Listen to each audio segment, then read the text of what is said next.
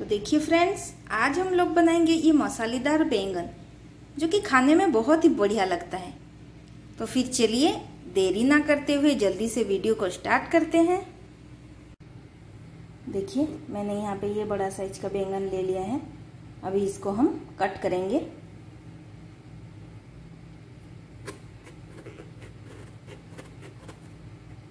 इसको हमें ज़्यादा छोटा छोटा नहीं करना है।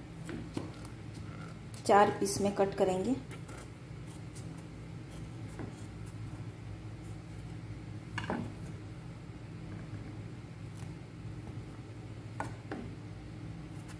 मैं इसको इतना बड़ा बड़ा ही रखूँगी। आप चाहें तो इसको दूसरे शेप में भी कट कर सकते हैं। तो देखिए, हमने इसको अच्छे से धो लिए हैं। तो चलिए, अब हम इसमें मसाले डालेंगे। थोड़ा सा हल्दी का पाउडर। थोड़ा सा जीरा पाउडर, थोड़ा सा धनिया पाउडर, थोड़ा सा कश्मीरी रेड चिली पाउडर और ये थोड़ा सा गरम मसाला। और ये नमक स्वाद अनुसार देखिए, अब इस मसाले को बैंगन में अच्छी तरह से हम कोट कर लेंगे ताकि ये जो मसाला है, बैंगन में अच्छे से कोट हो जाए। अब हम इसको सेलो फ्राई करेंगे। पैन हमारा गर्म हो गया है। अभी हम इसमें तेल डालेंगे। मैं यहाँ पे सरसों का तेल यूज़ कर रही हूँ। आप कोई भी खाने का तेल यूज़ कर सकते हैं। क्योंकि सरसों के तेल में उसका जो स्वाद है, वो बहुत ही अच्छा आता है। तेल हमारा अच्छे से गर्म हो गया है।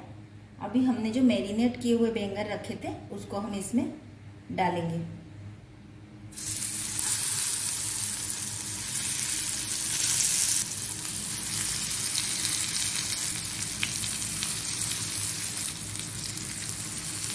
हम इसको आगे पीछे करके इसको अच्छे से हम पलट पलट कर सीखेंगे। अच्छे तरह से इनको हम फ्राई करेंगे। याद रखिए, हमें इसको धीमी आँच में ही पकाना है। हम इसको आगे पीछे करके इसी तरह से पकाएँगे। जब तक ये बैंगन हमारा पूरा अच्छे से पक नहीं जाता है। ये हमारा जो बैंगन है, ये कितना बढ़िया तरीके से पूरा पक गए हैं।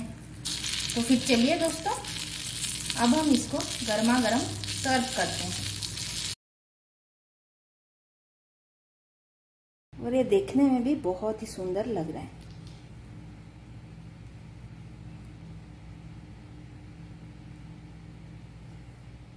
फ्रेंड्स, आप लोग भी इसे घर पर ज़रूर ट्राई कीजिए।